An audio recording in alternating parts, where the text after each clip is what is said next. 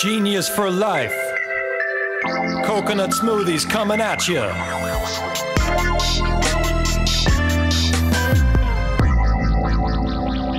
Hello, welcome to episode 82 of 15 Minutes of Genius. I'm going to slide a little more this way, so I'm fully centered. That's the OCD in me. Uh, so we bring on amazing guests in CPG, uh, people that have formed different software applications, created podcasts, which are both these gentlemen that are that I'm bringing on the show here, entrepreneurs, also both these gentlemen, and uh, overall just really cool, awesome people with great stories. So before rolling into our guests, would like to give a quick plug to Mark Nicholas, Mark N, at ManhattanBeachStudios.net. He's the guy putting this whole thing together. Make sure to reach out. I guess, Mark, you're not putting your email in the beginning anymore, only at the end. There it is. There we go. See, I ask and we receive right there. And there's a studio. That's a live studio. I'm, I'm, I'm sitting there. I'm just really skinny, so you can't see me. Cannot see me. That's not a screenshot. This is live view. So, uh, yeah. So make sure also 15 Minutes of Genius is on Spotify. We're on Apple Podcast and we're also on YouTube. And we post it on LinkedIn every Tuesday and Friday. So make sure to check it out. Without further ado, our guests. I met these guys probably about six years ago. I've seen them at probably every trade show for food and beverage known to man, Fancy Food Show, Expo West, Green Festival, the Veg Fest. Uh, they're everywhere. So we have Chris Ambarian and Yuval Selik. They are the, uh, the co founders of Promo Mash. And also, Yuval has his own podcast, which is called Seven Hats Podcast, which just debuted and are now on, I think, right now, I think during taping at episode six.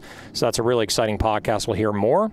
So, a little little uh, summary on Promo Mash. They're managing critical sales and marketing activities with spreadsheets and email, which is a thing of the past for most industries, except for CPG. On shelf, I'm actually probably reading the wrong recap. I'll just say this it's a great app. These guys will tell us more about it. I'm going to stop reading from LinkedIn. You guys tell me. Chris, Yuval, how's it going, guys? Good, Alex. Awesome. Right on. Thanks for joining me. Uh, we have kind of the Brady Bunch set up here. Um, I, you know, I don't know which Brady Bunch you guys are. That's right. this way and this way. Here they are. So uh, this is a, it's like a comedy show. I love this. So okay, so uh, normally we have one guest on. We have both you guys on. Why don't you uh, both you guys? How did you guys meet? Because obviously uh, you're from the same you're the, from the same pod. You both look exactly the same. So tell me history. How did you guys meet? And uh, tell us more about Promo Mash. It had pole dancing involved. Pole, it? pole dancing was involved. Yeah. Yeah. Pole da- I thought you said Paul Paul dancing. I'm like, there's a Paul that was dancing. So right. it's a funny it's a funny story how we met. Um, you know, I have a CPG brand, Luvala Skincare, and my wife was networking and met his wife, um, Susie, and Susie was in multi-level marketing, so she was selling wellness products. So she was trying to sell my wife wellness products and get her into the MLM community. My wife was trying to sell her skincare products. So they were just a bunch of entrepreneurs trying to sell each other. And they went, met at Chris's house. Chris stepped out. My wife Ala fell in love with Chris, introduced us, and that's how we met. The short story. Love it. Well, they were busy Chris, trying to tell each other. We were just we were just having drinks and and cigars out in the backyard, waiting for them to be finished. And uh, hey, That's next how thing you know- that's how all the friendships and history are, are formed. Is you're waiting for the wives to finish their conversation, and you get bored, and you start just talking with each other, right? I, I swear, I told I told my wife. Everybody knows this. If it wasn't for her, I'd be a hermit somewhere in the corner of my room with no friends, zero friends, and only because of her. So, you know, you got to give her some credit. There you go. There you go. Uh, credit where credit is due. So uh, love that. So guys, let's talk promo mash. Um, in the spirit of Seven Hats podcast, let's go a little deeper. You've always talking to me offline about Seven Hats. How they go, they go a lot deeper. Talk about the ups and the downs and the roller coaster effect of running a business. Uh, tell us about Pro Mash, and it's definitely brutal last year. The fact that there's no demos. I know that's how your that's where your software really thrives. Uh, creation of it, we can hear about that. But tell us, how did you guys weather the storm in 2020? I'm sure you've heard this a million times, that question, but tell us more about history of it and where you're at now. Chris, go ahead. I've been doing all the talking. Go ahead. Uh, yeah, talk about uh, brutality. That was the definition of brutality. Uh, I'm sure. I'm sure we weren't the only ones that felt that way, but yeah, it was. Uh, it was tough because uh, you know we were one of those industries that pretty much you know got shut down. So that was that was the vast majority of our uh, our revenue stream overnight. Poof, gone.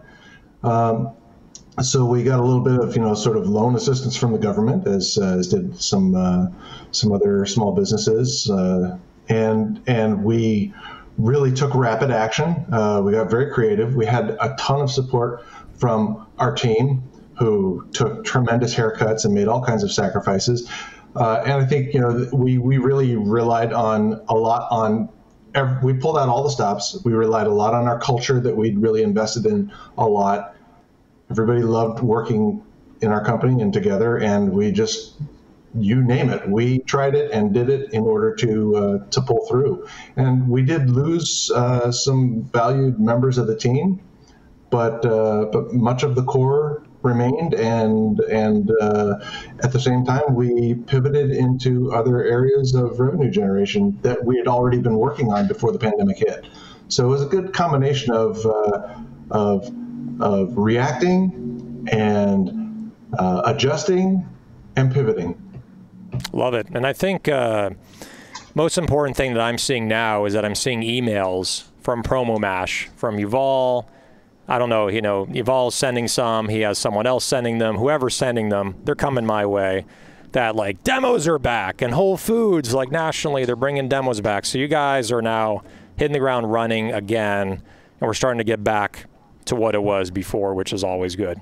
So okay, so that's promo mash. Anything else Yuval on the promo mash side? Because I also want to I want to dig into the podcast stuff as well. Yeah, I mean, I think in promo the, the the saving grace for us was the fact that we got into trade management and trade promotion and deduction management as a service.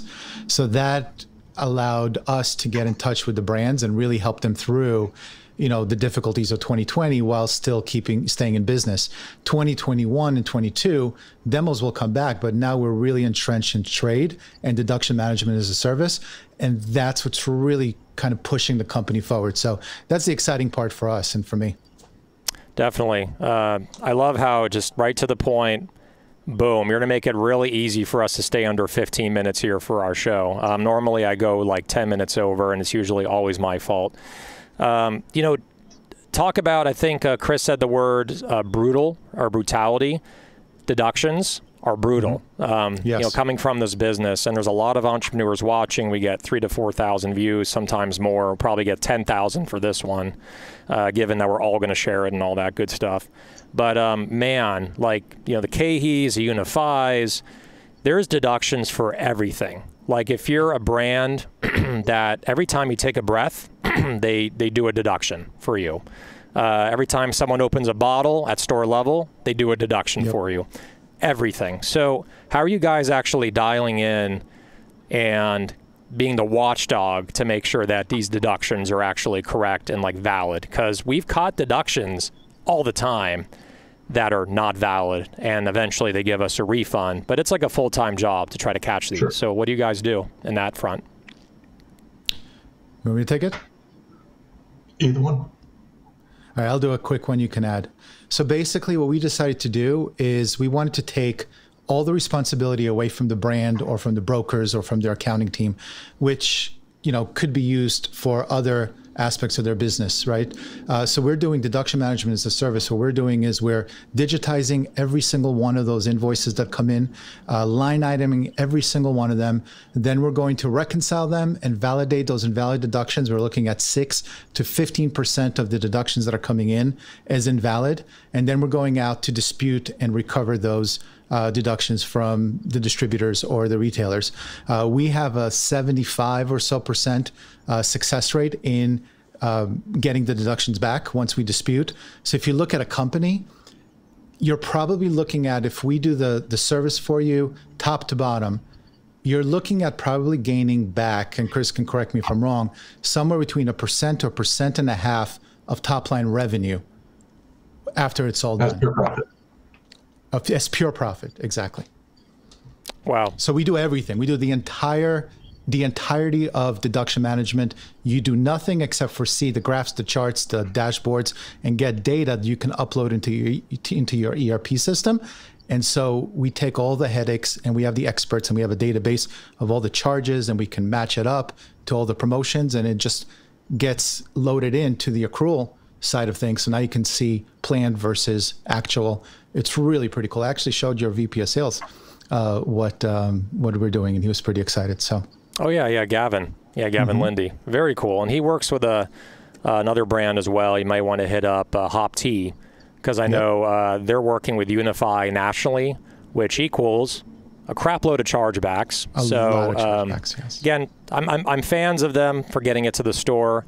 But there's so many chargebacks and there's so many codes and it's hard to understand and there's a disconnect where they just put in the codes and half the time, uh, you know, they're they're kind of hoping that you don't know what it is, and then they take it out. Um, Yep. That just just being honest, that's what happens. Usually, they want to be right and it's valid, but every once in a while, something is not valid. I think you said like like eight to ten percent of all deductions are not valid. Was that a correct we're number? seeing up to 15% Fifteen percent. Up to Holy crap! 15. Jesus, That's a lot of money. that's a lot of lot of money, money. dude. That's a lot of. If you're not if you're not on top of that, it's like walking around the street with money hanging out of your pockets, and you, you expect they're not going to grab it. They're going to, and and kind of being on top of it is more or less keeping them honest. I like the word watchdog, like you said. That's that's kind of the function that you're doing. Is is you've got to show them that you're on top of things, just so they don't try it. And it's not just the recovery, though, it's understanding your actual charges. Because with your direct and indirect customers, right? Because you might have UNFI and they feed up a whole bunch of indirect customers. You want to know by indirect customer what you're spending. Because a lot of times they'll do a free fill and then do another free fill. And you unless you really keep track of each individual charge over time you're never going to see where your problems lie and you're making decisions uh, on your budget on your next year's planning. If you don't have that data you're kind of screwed. You're you're dealing with incorrect garbage in garbage out kind of deal. Exactly. You're like driving through a blizzard, can't see where you're going. So what is the what is the fee structure for this? Just for anyone who's watching this, is it retainer plus a percentage of what you recover, or what's your fee structure like? we have a subscription fee, a very, very reasonable subscription fee at this point. Uh, and What what it, is that amount? Just range? It it really depends on the company, so it's hard for me to give you, you know, uh, but it starts at fifteen hundred a month, Super reasonable for like Yes. how much money you can gain back. Yeah. and we don't Oh, yeah. take a per- we don't take a percentage of sales. I'm sorry, of recovery. So basically, you would need to spend at least five six grand or more to get an expert on your team to do the deductions on your behalf. We do it for you know a third of the price or you know an eighth of the price, whatever it is. And then if you have if you're a much larger company, obviously you'll pay more because there's a lot of more work on our on our end. But for any emerging brand, fifteen hundred bucks a month that gets you gets you started with full deduction management, and you'll get you'll pay for back it will pay back for itself. Cool. And then the website, is it under promomash.com or is it under a different website? Okay. Everyone oh, go to promomash.com, check out the program. I'm going to put Yuval and Chris's information, LinkedIn. You can click on them, message them, and find out more. And I recommend this to anyone and everyone that has a CPG business that's in distribution right now, which is pretty much everyone watching this, right?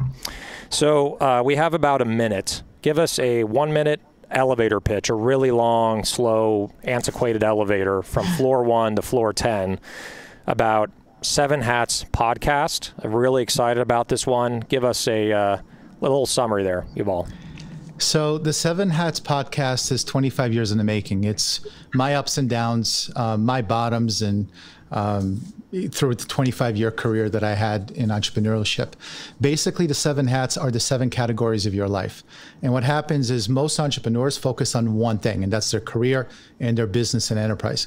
So what happens is they get they become successful. They might, you know, make a whole bunch of money. They exit, but at the end, they're not fulfilled. And why aren't they fulfilled? Because they never spent any time on their their sel- themselves, their family, uh, their spouse, their kids, their spirituality, contribution, finances. So there's all these other aspects of your life that are critical in order to maintain while you try to attain success uh, in achievement. So it's not just achievement, it's achievement plus fulfillment. And that's really all about this, this, what the Seven Hats is all about. So we interview amazing entrepreneurs that will hit on health and wellness, that will hit on um, you know different eating plans, different meditations that you can you know work through. We had a guy named Atma, who's my spiritual teacher. We spoke about what it means to be a spiritual entrepreneur.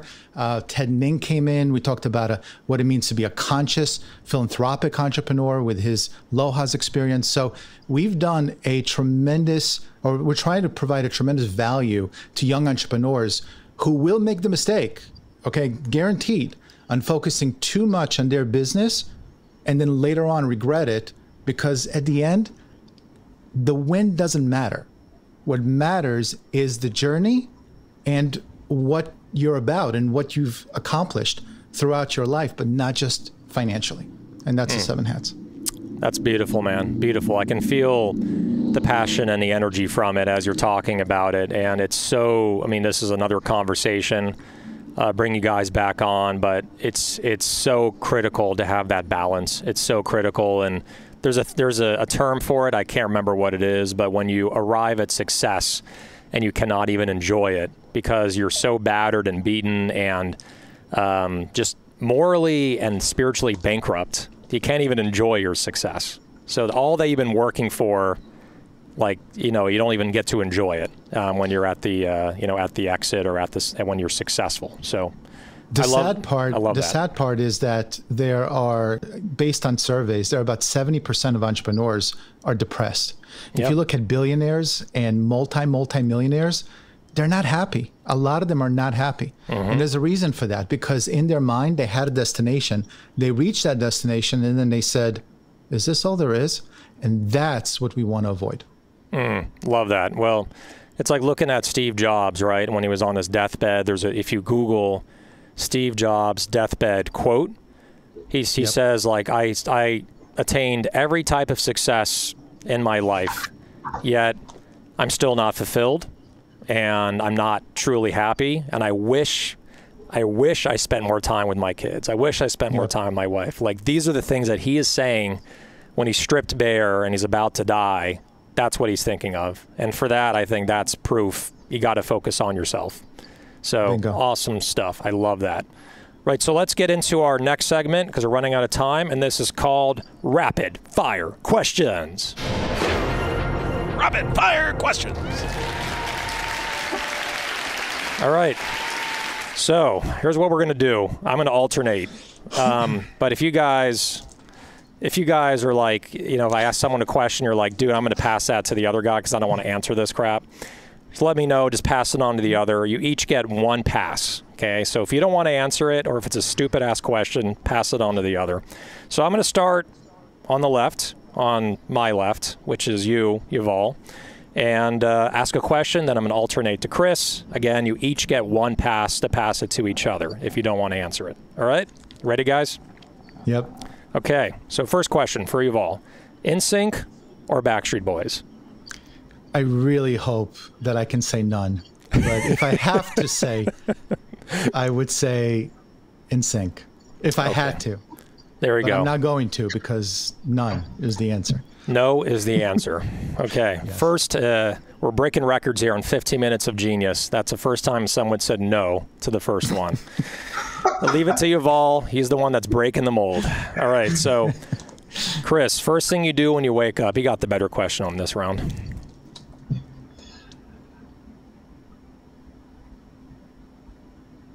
you want to pass? no, I turn on Zoom.